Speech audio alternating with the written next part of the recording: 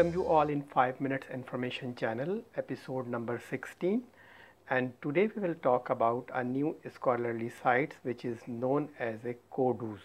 Kudos is, Kudos is a scholarly reputation site which start its service in 2014.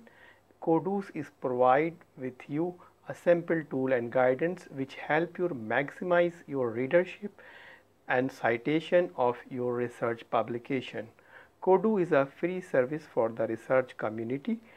Codu maps the communication and publication metrics provide authors dashboard and graph and showing outreach efforts and influence of your readership, discussion, citation metric, views and etc. Codu metric services provide to rise your publication through Kudos as a researcher you can add or become the member of the Kudos and enhance your publication research publication views and readership through the following characteristics. Explain image share audience and resources. We move on the demonstration how Kudos is work on the Kudos website Codu Kudos spread your research publication information in following ways around the scholarly world within your discipline as well as your allied discipline of knowledge. Number 1 explain, number 2 enrich, number 3 share, number 4 measures. Explain means write a short title uh, about your research publication, write a out summary of your research publication and impact statement of your research publication where your research has impact and what its core area. Kudos share these information to all relevant website where your audience like researcher, research scholar and your field experts are exist.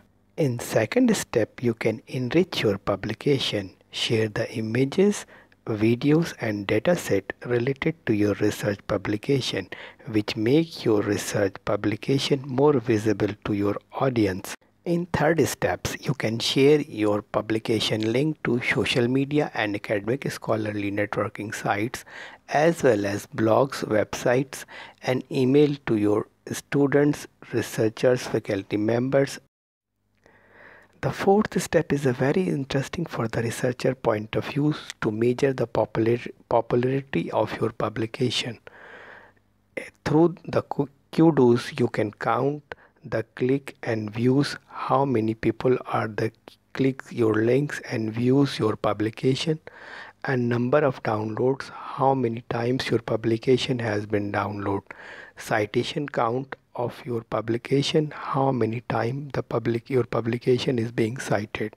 And number fourth is one of the interesting characteristics is that you can measure the altmetrics and social media sharing of your publication. As a researcher and librarian, I will suggest you please join growkudos.com and add your publication and increase impact of your research publication that's end of the episode number 16 i hope you will enjoy this video. And please don't forget to like and subscribe my channel 5 minutes information.